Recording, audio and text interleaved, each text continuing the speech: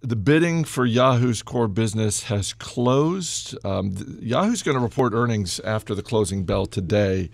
Um, and my assumption is the first 78 questions on the conference call are going to be about the bids because uh, the bidding is down to, I believe, just two entities. One is Verizon, which everyone expected.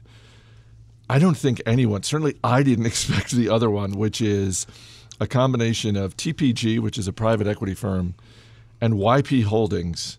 And YP Holdings is probably best known by its former name, which is yellowpages.com, which I didn't even know was still in existence, even in this new form. But as we were chatting about before we started taping, you peel back the, the curtain a little bit, they're, they're pretty big in the digital ad business. They are. They're bigger than Yelp. Um, they do about a billion dollars in revenue a year, about 120 million dollars in EBITDA. So they're doing they're doing pretty well there. And yet, I, am sorry, I, I, look at this and I just think that the why the them? comedic skepticism is just ripe for the picking when you think about for you know for for anyone who looks at Yahoo and and sort of ignores the strengths of the core business because I do think that from a programming standpoint, what they're doing, particularly in sports and finance, are very strong. Um, we are one of their partners on the finance strength, but I think you know I would say even apart from that, I, th- I think I mean that is that is when I'm doing research, that is sort of my go-to place, not just for the the news feeds and that sort of thing, but also for charts and and and and the like.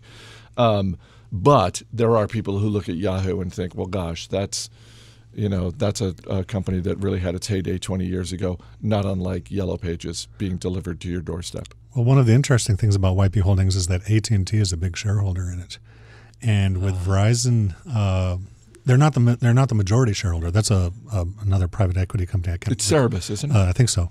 Uh, they own 53, 54 percent. AT and T holds around forty percent. So, with Verizon bidding, uh, it's not too surprising that AT and T uh, decided not to bid on its own. It dropped out, uh, but it did uh, probably sign off on the bid uh, with part of YP Holdings uh, making its bid. Sure, I think anytime AT and T can mess with Verizon and vice versa, they're going to oh, yeah. do that.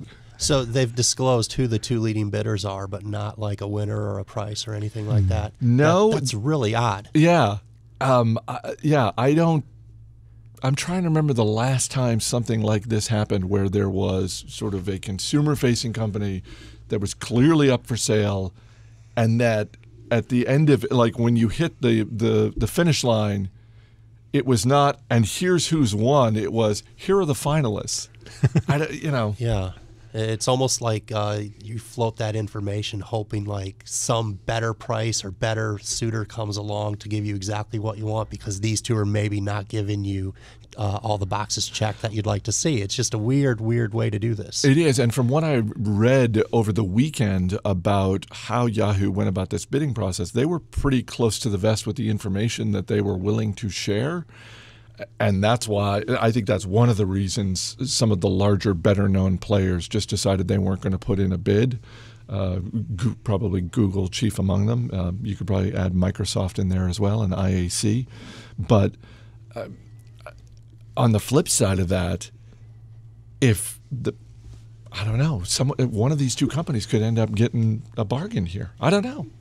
I, I think it's yeah. going to be interesting to play out, but I, but I'm not. I, that's why I say the first 78 questions on the conference call yeah. are going to be not about whatever quarter no. Yahoo just put up.